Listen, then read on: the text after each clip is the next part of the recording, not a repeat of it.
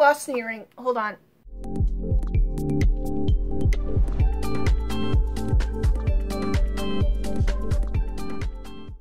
Is the hat too much? Probably not, but we're, we're already doing a lot with the makeup and the earrings, so we'll just, we'll save that for a photo. Hello folks, welcome back to my channel. You can call me Lali. I didn't really plan today's makeup. I just decided I was going to wear these earrings and I wanted to wear this particular like duochrome green eyeshadow and then the moody fall toned purple just came out to play. So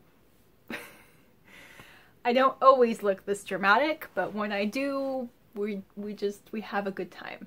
Okay, today's video is my bi-monthly book haul. I'm going to be talking about all the books that I acquired in the months of July and August. So, let's get my master list going. Um, first off was an audiobook. I redeemed my I redeemed a credit from Libro.fm. I picked up the audiobook for Under the Black Flag. I uh, this was a book from my Amnesia Reads TBR that I read last month in August. I talk about it in my August wrap up. I DNF'd it at 80%. I was I was very done with it. Um, I don't regret like buying acquiring an audiobook copy for a book that I'm going to be unhauling. I think without the audiobook if I had tried to read it, it would have taken me forever to read a good enough chunk of it physically in order to make that assessment. If you want to know what irked me so bad, go watch my August wrap up. I, I'll try to remember to link it in the description box below. So, moving on. Next, I, uh, I did a little project on my own of listing all of the, all, did I list?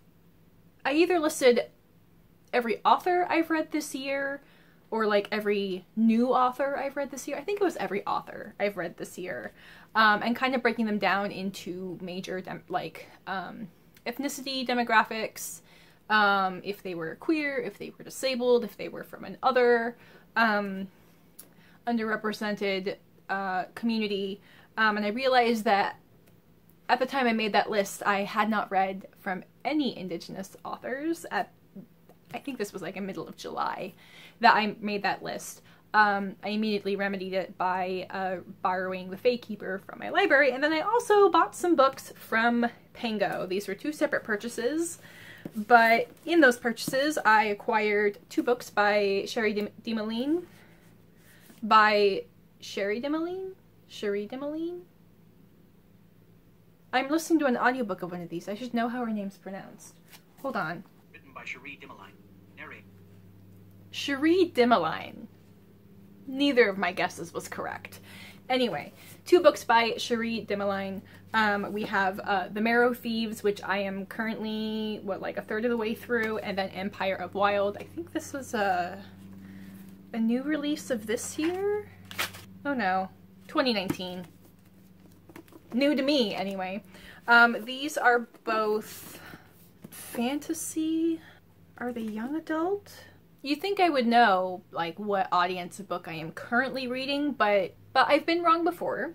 So okay, so The Marrow Thieves is young adult and I believe Empire of Wild is also young adult. Um they're both fantasy. Um The Marrow Thieves is they're both kind of like fantasy and horror or horror adjacent.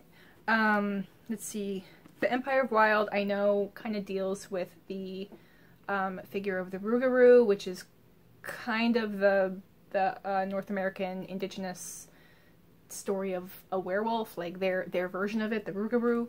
Um, and then the Marrow Thieves, the context is, is follows a troop of um, young uh, Canadian indigenous post-apocalyptic survivors in a world where everyone else has uh, lost their ability to dream, and the only people who can still dream are the indigenous people, and they are actually being hunted for, I'm gonna guess, for their bone marrow. Um, I've I've gotten to a point where like someone has been taken, and they've been taken back to these schools that they are like, yeah, they're not new. They were um, absolutely formatted based on the residential schools. Um, so this one is is fascinating, and I'm getting a little bit of like a young adult version of like a post-apocalyptic world, kind of like the fifth season. Um, possibly also Octavia Butler, but it's been so long since I've read anything of hers that I, I take that with a grain of salt. Um, anyway, interesting and perfect for spooky season. Um, and then also in that Pango purchase, I also picked up The Ballad of Black Tom, which I also have read. Um, so look for my thoughts of this in um, a future wrap up. But this is a novella from Tor.com. Um, this is written by Victor LaValle, um, and this is turn of the century, 19, early 1900s story of this uh, of Charles Tommy Tester and um, the paranormal journey that turns him into the specter of Black Tom. Um, interesting. Yes. And then a book I haven't read yet. Uh, this is The Dark Fantastic Race and the Imagination from Harry Potter to the Hunger Games by Ebony Elizabeth Thomas. This is a nonfiction. Um, and um, yeah, it just, I mean, first off, this this cover. Can we just appreciate the cover? Uh, the Dark Fantastic is a wake up call to all who research, teach, or create young adult speculative fiction. Thomas issues a call to decolonize the speculative fi- fiction genre and to ensure more text, films, tele- and television shows that include a black female protagonist become the norm to influence a new generation of readers and writers. So, sounds interesting, sounds thought provoking. I'm here for it. And then um, I uh, my dad gave me this copy of The Three Body Problem by Cixin Liu, translated by Ken Liu. Um, he's like, hey, would you have any interest in reading this? I'm like, oh my god, yes, that has been like at the top of my to find a copy, a secondhand copy of this book for a while. But I've wanted to read something from um, Cixin Liu. I'm not sure I'm saying that quite right. Um, I will have, I always have the titles, the authors, and translators, narrators, illustrators of the books I'm talking about in my description box below if you would like to reference how they're spelled or try to remember remember which video did I talk about which book. That will all be in the description box below. Um, so this is is like a very well known, um, popular uh, Chinese science fiction, um, and I also have a goal to read more translated fiction throughout the year. I'm kind I'm kind of struggling with that. That's a different conversation. um, but yes, my dad was like, "Do you want this?" I'm like, "Absolutely." And also, it's a lot thicker than I thought it would be. But I'm excited. And then from NetGalley, I received an audio arc of A Half-Built Garden. Um, I have listened to this. I loved it. I reviewed it in maybe my July wrap up. Well, yeah, because it wasn't last month and I acquired it in July. So in my July wrap up, I talk about this. This is a um, kind of slow, uh, cerebral, thought provoking science fiction that has um, an imagined first contact with aliens and. Um, it's been like compared to the works of, Earth, er, of Ursula K. Le Guin. In terms of something I've read somewhat recently, I would also compare it to um, the fiction works of Carl Sagan.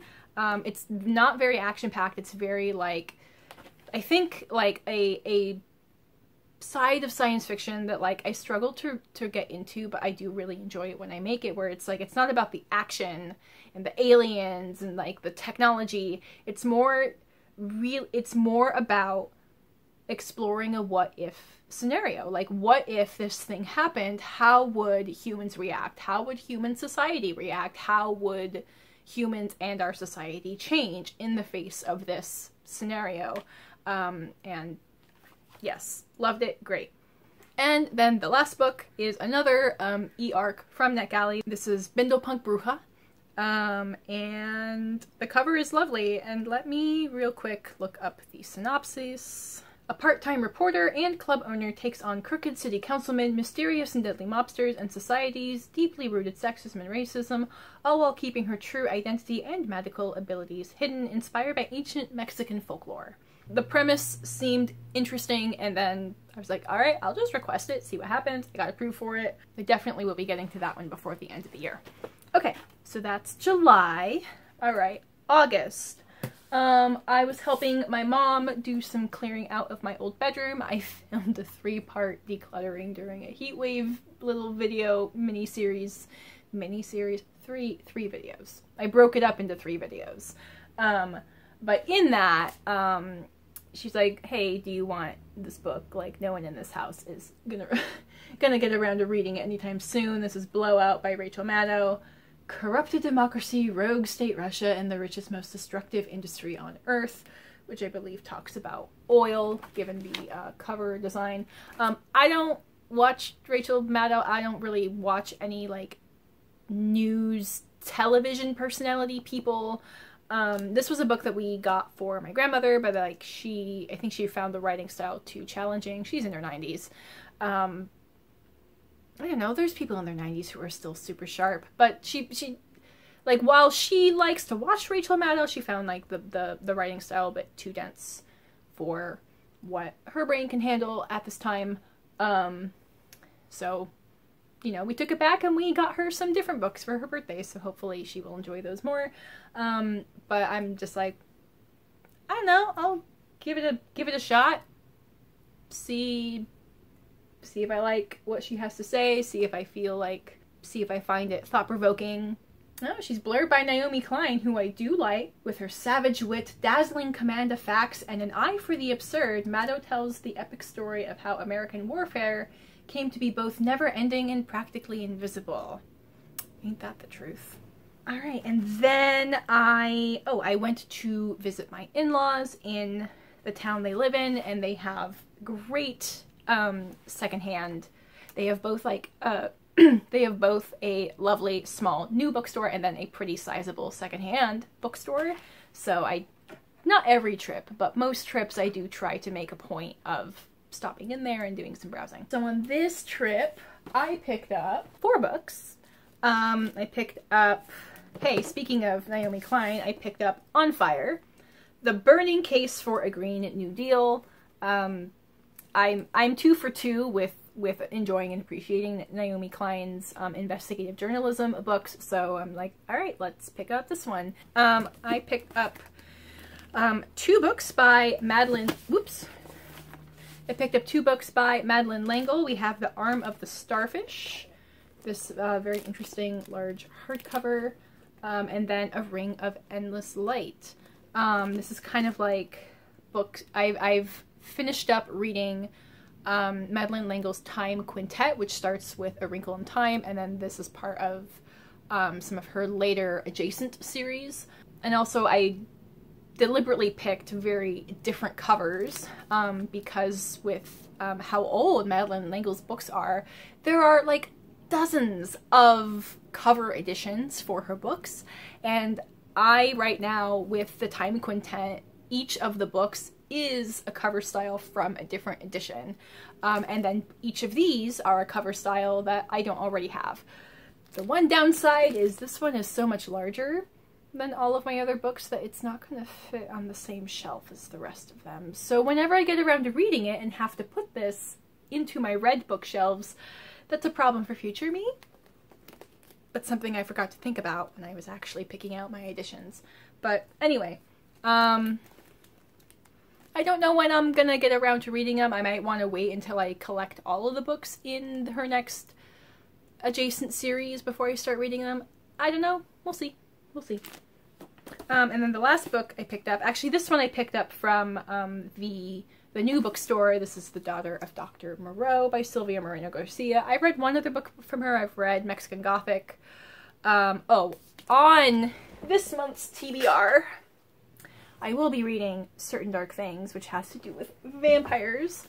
Um, and then this one, which is such a lovely cover. I feel like we see a lot of it from far away, but let me give you a little, um, I don't know if it'll focus that close, a little close-up of this woman in her fantastic outfit. Love that. But I think this is another kind of like gothic, gothic horror-esque story. A dreamy reimagining of the island of Dr. Moreau set against the backdrop of 19th century Mexico. I'm actually not that familiar with the island of Dr. Moreau. I wonder I wonder if I should at least Google a synopsis before reading this. Or should I go in blind and see whether I am capable of, of I was about to say capable of ignoring the story. That is not the word I want to use. Um, or should I go in blind and see if I'm capable of enjoying the story without that context? I think that's I think that's an important barometer. If you're going to be writing something based on something else, like I don't think it's required but I think it's an interesting perspective to be like, all right, if I don't know the reference, if I'm not really familiar with the source material, have you still written a compelling and complete story? We'll see. Let's hurry this up because I'm hungry. Okay. Uh, then I uh, got approved for another e-arc on NetGalley. This is The Ferryman by Justin Cronin. From New York Times bestselling author of The Passage comes a riveting standalone novel about a group of survivors on a hidden island utopia where the truth isn't what it seems. I'm already getting lost vibes. Like, I never finished the show, but like the early, like the first like three or four seasons when we're discovering the weirdness of the island, that's what I found interesting. The other soap opera side of that, we're not here to talk about Lost. What are you doing, honey? I just read through this description and I am I have renewed interest in it. Okay, let me read this. Founded by the mysterious genius known as the Designer, the archipelago of Prospera lies hidden from the horrors of a deteriorating outside world. In this island paradise, prosperous lucky citizens enjoy long, fulfilling lives until the monitors embedded in their forearms, meant to measure their physical health and psychological well being, fall below 10%. Then they retire themselves, embarking on a ferry ride to the island known as the Nursery, where their failing bodies are renewed, their memories are wiped clean, and they are ready to restart life afresh.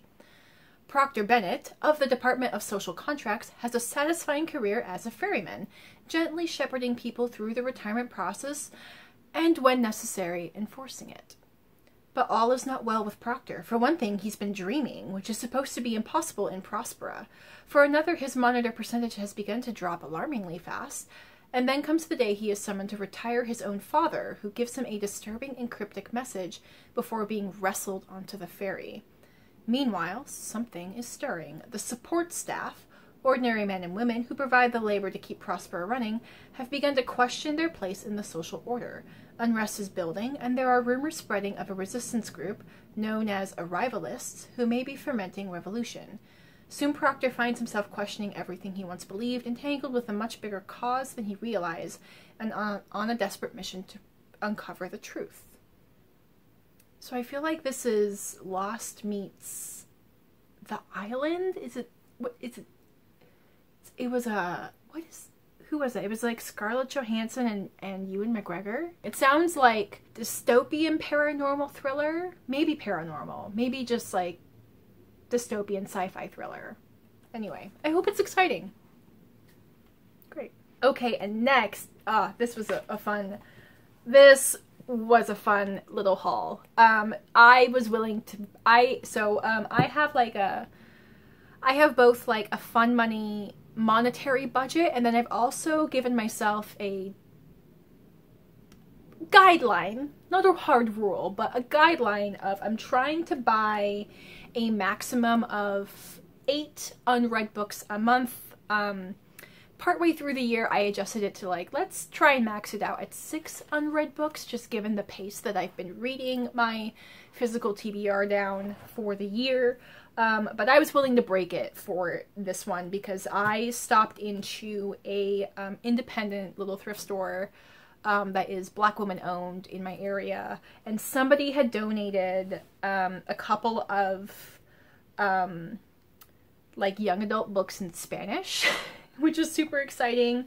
And then I've, because this thrift store is so close to me, I have been like donating quite a bit. And I'm like, I I mean, I shouldn't feel obligated to buy something um, if I don't need it, but also like I financially I am capable of supporting this store by buying something.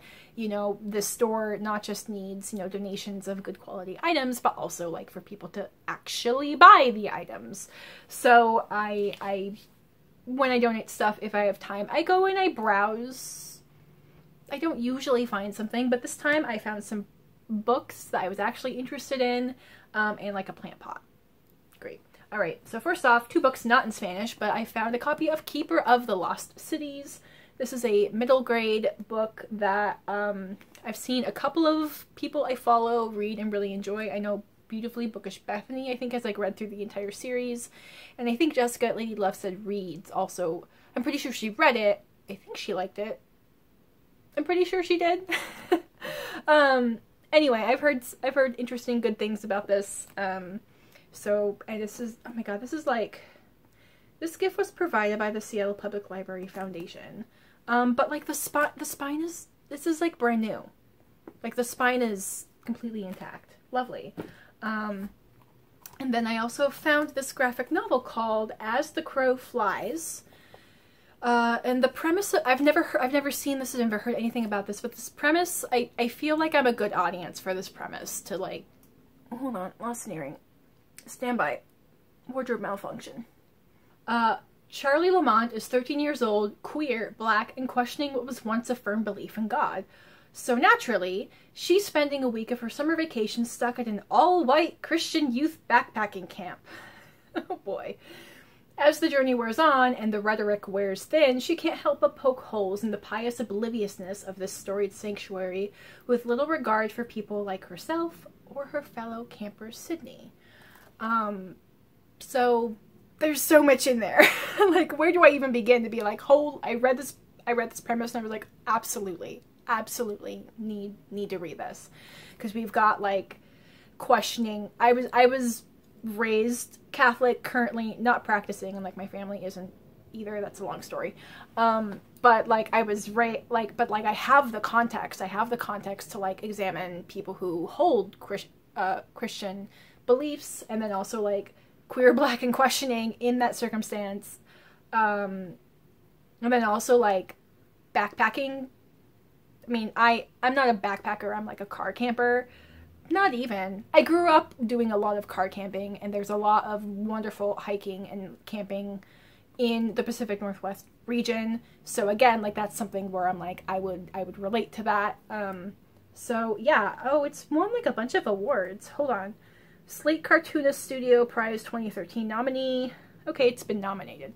Hasn't. I don't think it's actually won. Okay. Autostraddle Comics and Sequential Art Award It's nominee 2014, Will Eisner Comic Industry Award 2014, Ignatz Awards 2016 nominee. Anyway, let me know if you've if you've heard anything about this. The author is uh, Melanie Gillman. Um, let me know if you've heard anything about this or like if this sounds intriguing. Okay, and then the books I picked up in Spanish. This one was so exciting. Drama by Raina Telgemeier. Telgemeier? I should look up how to actually pronounce that. Um, but last month I read. Where did I put it? Hold on. Oh, it's up there. I read Fantasmas, which is Ghosts, which is a graphic novel um, by Raina Telgemeier that was translated into Spanish. I have a goal of trying to read at least four books in Spanish a year, and like my reading level is like upper middle grade, younger YA, and then of course like a graphic novel. Perfect. And I really, really enjoyed Fantasmas. So when I saw drama, and it looks like most of her series, her graphic novels like this have been translated by Scholastic in Espanol. Um, so yeah, this was this was like a specific book in Spanish that I was keeping my eye out for. So so excited to find this one. And then then we have um, La Formasombras by Daniel Jose Older. I think the English title is Shadow Shaper. Um, Daniel Jose Older is a an author I don't see talked about a lot, like on BookTube or Bookstagram currently. I've come into the game pretty pretty late, um, but like I I go and I I read the descriptions for his books, and I'm like, this is an author. I, I need to read something by this author. This author sounds sounds very intriguing, um, and I don't see a lot of people talk about him, but but like his books also seem to be well reviewed or like well yeah, well reviewed, like good star ratings and stuff. Um, this I I'm worried that this might be like a little bit advanced in the reading level. This might be more like upper YA. I'm willing to give it a try. Um, so La Formasombras translates to Shadow Shaper, um, and this is a um, urban fantasy. Let me just look up the synopsis. I'm struggling to translate that synopsis on the fly. Sierra Santiago was looking forward to a fun summer of making art, hanging out with her friends, and skating around Brooklyn, but then a weird zombie guy crashes the first party of the season. Sierra's near comatose abuelo begins to say lo siento, I'm sorry, over and over. And when the graffiti murals and beds start to weep, well, something stranger than the usual New York mayhem is going on. Sierra soon discovers a supernatural order called the Shadow Shapers who connect with spirits via paintings, music, and stories. Her grandfather once shared the order's secrets with an anthropologist, Dr. Jonathan Wick, who turned the Caribbean magic to his own foul ends. Now Wick wants to become the ultimate Shadow Shaper by killing all the others one by one. With help from her friends and the hot graffiti artist Robbie, Sierra must dodge Wick's supernatural creations, harness her own shadow shaping abilities, and save her family's past, present, and future. Yeah, I'm on board. Let me know if you've read any of these. Let me know if you are also excited to read any of these in the near future. Um, I will have my social media and all the other places where you can find me in the description box below. I hope you have a good rest of your day. I encourage you to go out into the world and be curious. I will catch you folks in my next video. Bye!